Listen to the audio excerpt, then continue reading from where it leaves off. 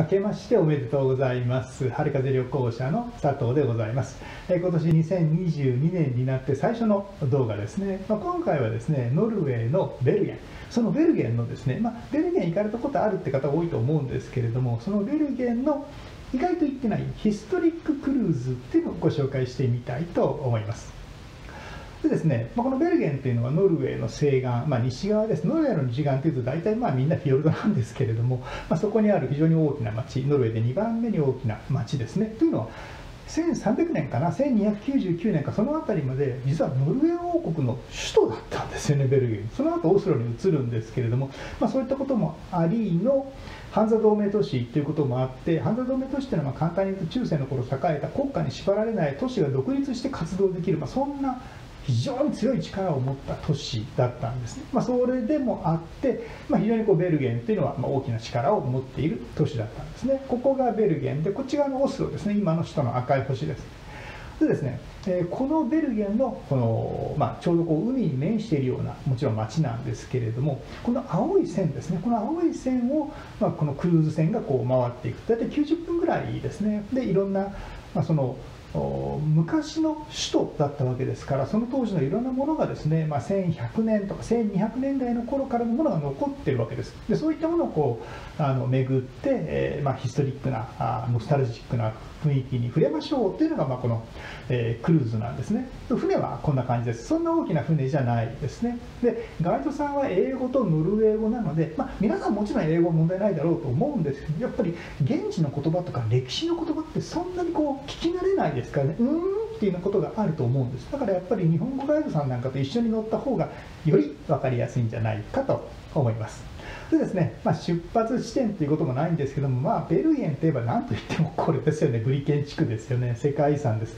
これこそハンザ同盟都市のですね、まあ、生き証人みたいな感じでですね、建物自体はもう1300年ぐらいから建っているので、近くまで行くとですね、歪んでるんですね、たわんだり歪んだりしてるんですけれども、それでも今もなおですね、ここにはこういろんなお店が、ショップが入っていて、まあ、ベルゲンといえば一番の観光地区、まあ、まあまあ、まず皆さんここに集まるみたいな、そんな感じなんですね。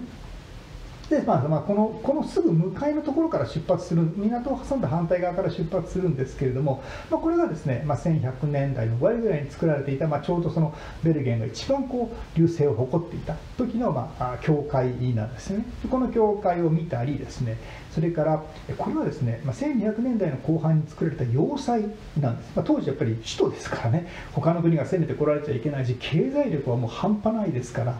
まあ、そういったことでですねこういう頑丈な要塞を作って、まあ、あの侵略してくる敵を通っていたというのもあったわけなんですね。この建物そのものがもう昔から残っているんですよ。でですねこれはですねそのベルゲンが、まあ、商人の町ハンザ同盟都市なので商人となっている、まあ、そのゆえんみたいなとこなんですけども皆さんですねえー、1200年代とか1300年代ってこう道ないんですよこの辺り。みんな船でやってくるんですよ。で船でやってきてここに経由してこの後ろの建物でですねなんかこういろんなビジネスミーティングやったりですね儲かりまっかとか言ったりですね交渉したりとかっていうふうにこうしてたんですよね。この建物が建てられたのはやっぱり1200年代です。ですね、こっちはちょっと新しくて、まあ、ボートハウスっていうんですけども1600年代ぐらいに、まあ、建てられたものなんですけれどもこれですねあの商人じゃなくて漁師さんノルウェーで漁業といえば何といってもタラですよね、まあ、季節になりますとね干しだらがね、まあ、ベルギンは少ないですけども、まあ、地方に行くとですね干しだらばっかりみたいな その匂いが好きな人は私みたいにタラが好きな人はいいんですけど嫌いな人はうーんって感じになっちゃうぐらい、まあ、干しだらの国なんですよね。でその干しだらをですね、まあ、保管しておいたりもしくは漁から戻ってきた漁師さんがここにこうその船をですね係留したりっていうふうなこう建物がああるんですね、まあ、これも1600年代に建てられているので、まあ、そのノスタリノスタルジックヒストリッククルーズの、まあ、一つの拠点になっているわけなんです、まあ、その他にもいろんなところをこうもっともっと回るんですけれどもで戻ってきてどこに来るかといってやっぱりここですねフィッシュマーケットです。これ1500年代ぐらい1500年代の半ばぐらいからずっと未だに続いているんですけどもともとは菓子です。もともとは歌詞なんですけど今はですねもういろんなこの辺りにですね、まあ、あのいわゆるオープンレストランっていうのがですねどんどんどんどんできましてですね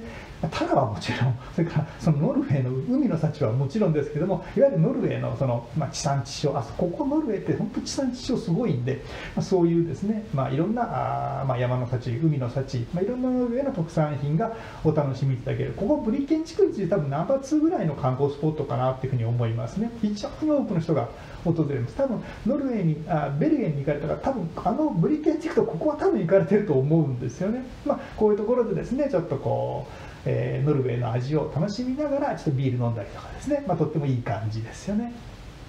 でですね、今はまだノルウェーちょっと入れない、日本と同じようにですね国境空いてないんで入れないんですけれども、